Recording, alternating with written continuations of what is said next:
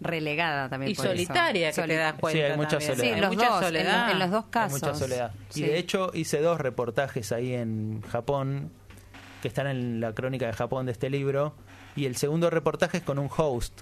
Un host es un chico de 25 años que entrevisté, que trabaja en un host club, que es una especie de bar nocturno a donde las chicas van y pagan para hablar con gente como él. Sí. O sea, se ofrece el servicio de conversación de noche, tomando, muy divertido. Solo para charlar. Solo para charlar. Sí, o para comer o tomar un Sí. trago. Tiene mucho que ver esto que decías recién, Dominique, lo de la soledad, ¿no? Sí. Claro. una charla. También hay servicio para hombres de eso, Mm. pero me parecía más interesante un hombre que trabajaba para las Mm. mujeres, Y ¿no? Lo interesante que marcas en el libro también, que cuando entraste a ese hot había un ranking, ¿no? De Sí, quienes claro. tenían, cómo punteaban. ¿Quién era el que- mejor mejor Sí, yo, entre- yo entrevisté al número 3. Y yo no sé japonés, pero fui, Ah, claro. fui con un traductor, me senté en la mesa, estaba el host, que se llamaba Yuzuki, dos clientas y otro host que estaba medio callado y que cada tanto hablaba. Y después Yuzuki me dijo que el trabajo del segundo host era ser ayudante, o sea que cuando la charla caía, Él tiraba entraba algo. con la conversación. Qué bárbaro. Ahora, la espontaneidad donde queda, ¿no? No, no, y- Ay. pero te digo que sin saber japonés, yo estaba con mi traductor que me iba tirando algunas cosas. Igual era divertido, la pasé bien. Y Claro. Al día siguiente lo volví a entrevistar a Yuzuki. De día fuimos a tomar un té y era totalmente aburrido. O Pero, sea, ¿ah, en él- serio?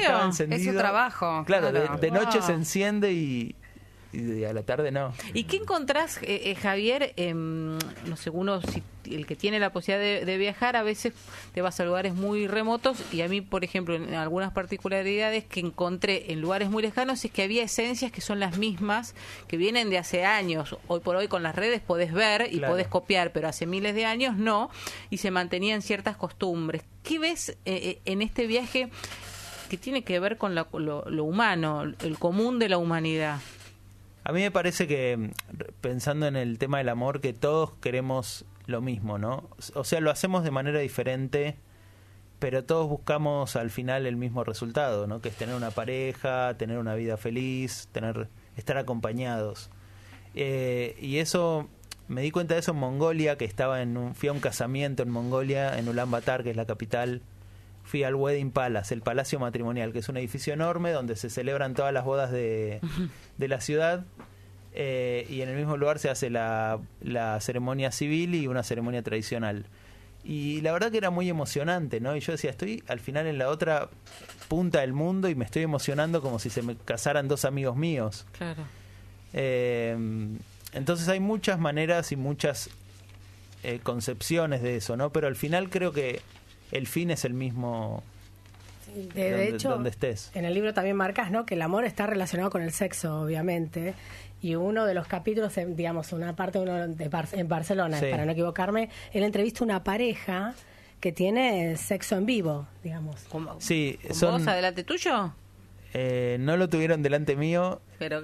Yo quería, pero no. no se dio. Para la nota, Javier, qué yo quería para la picarón, nota. Qué picarón. Está investigando. Está pero bien. eh, son un matrimonio que tienen un hijo además y mm, les gusta tener sexo en fiestas, eh, hacen cine porno.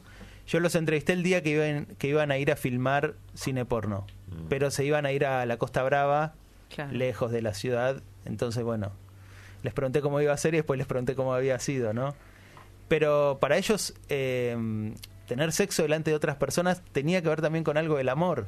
Porque, digo, eh, hace 10 años que estaban juntos. Vos. Y ellos se, se sentían más unidos de esa manera. Mira.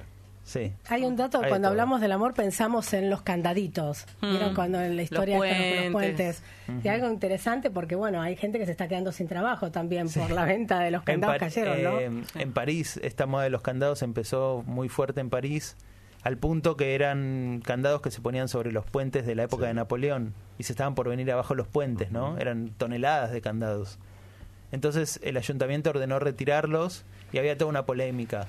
Cuando yo llegué, eh, que fue en creo que junio de 2017, quedaba el último puente y quedaba el último vendedor de candados, que era un pakistaní, Mm. un inmigrante ilegal que vendía, creo que me dijo que vendía 8, no, 40 candados que compraba a 5 euros y los vendía a 8 euros por día, ¿no?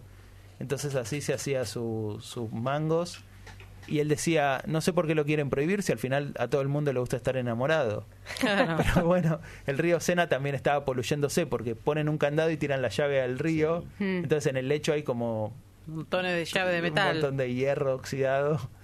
Y además la UNESCO le da plata al Ayuntamiento de París por, porque tienen estatus esos puentes de monumento cultural mundial y si se arruinan o se poluyen, UNESCO les va a sacar ese estatus.